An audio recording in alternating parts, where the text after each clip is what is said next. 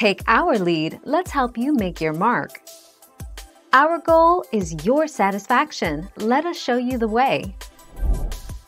Several factors may cause the product to print blank pages, such as print settings, low ink, or the product itself.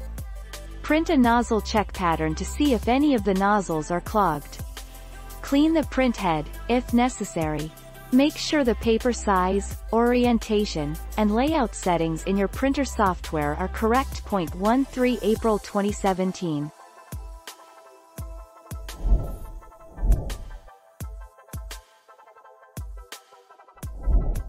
Take our lead.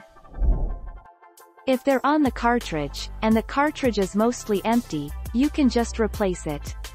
The new nozzles will obviously be unclogged.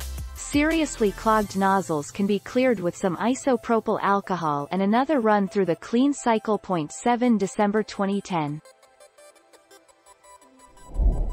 Thank you for watching. Please subscribe and hit the bell notification.